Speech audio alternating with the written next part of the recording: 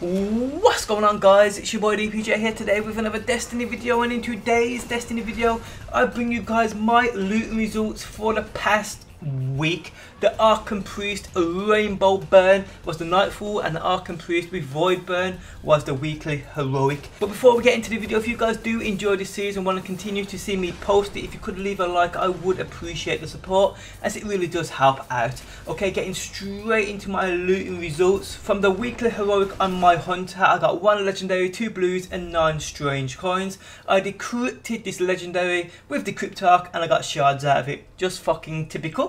Okay, from the Nightfall, I got the Don't Touch Me exotic gauntlets, which I have had about a billion times, but at the end of the day, it's still an exotic. Dismantled, I get an exotic shard, which will come in handy when I do get the House of Wolves. Okay, moving on to my Titan from the weekly heroic. I got one legendary, two blues, and nine strange coins. I decrypted this legendary with the Cryptarch, and I got the soldier on boots for the hunter. Typical. Okay, from the Nightfall on my Titan, which I actually soloed, and you guys probably would have saw yesterday, me soloing this live, and if you missed that, I will link it in the video description.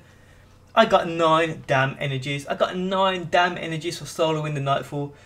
It's just crazy, it really is. Okay, moving on to my Warlock. From the weekly heroic, I got one legendary, two blues, and nine strange coins. I got one legendary across all three of my characters this time. Okay, so I took this legendary to the Cryptarch, I decrypted it, and I got the final rest two fusion rifle, which is a dead orbit fusion rifle. The roller mods on it weren't that great. I've actually already got this with a much better roller mods. So this just got dismantled. It's as simple as that.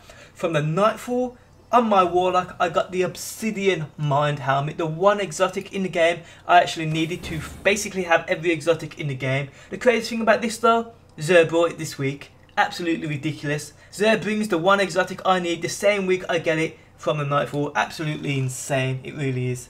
But yep guys, that is what I got across all three of my characters from doing the weekly heroics and the nightfalls. As you guys know, there's no point in me actually running the raid now. I mean, I've got everything from them, so I don't really need them to be honest.